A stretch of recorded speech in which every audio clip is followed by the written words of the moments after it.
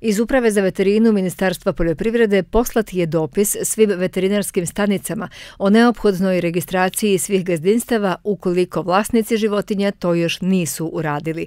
Svako gazdinstvo pri registraciji dobija svoj jedinstveni identifikacioni hit broj i vlasnici životinja su u obavezi da redovno prijavljuju svaku promenu brojnog stanja životinja nadležnoj veterinarskoj službi najkasnije do 15. marta radi ažuriranja podataka u u centralnoj bazi. Svi državci stoke koji nemaju registrovana e, svoja gazdinstva, eventualno nisu prijavili neko kretanje životinja, prodaja, uginuće, bilo kakvu promenu svoga stanja, moraju da dođu da ažuriraju te podatke iz razloga da bi mogli posle da ostvare subvencije. U veterinarskoj stanici veterinar tim iz Stare Pazove, koja je nadležna za podunavlje u Staropazovačkoj opštini i Golubince, saznajemo da su otvoreni za svaku vrstu saveta i pomoći stočarima u vezi predstojećeg uvođenja e-agrara.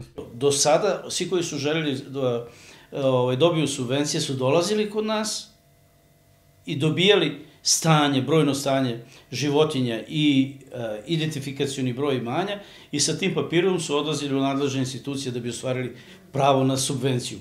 Pretpostavljam da će ovo sad biti, da će moći ovim hit brojem veterinarskim da uđu na elektronski na portale uprave i da na taj način da da ovaj ostvare svoje prava. Sva prava u vezi subvencija stočari će u buduće moći da ostvaruju samo u slučaju tačnih i kompletnih podataka iz centralne baze Uprave za veterinu.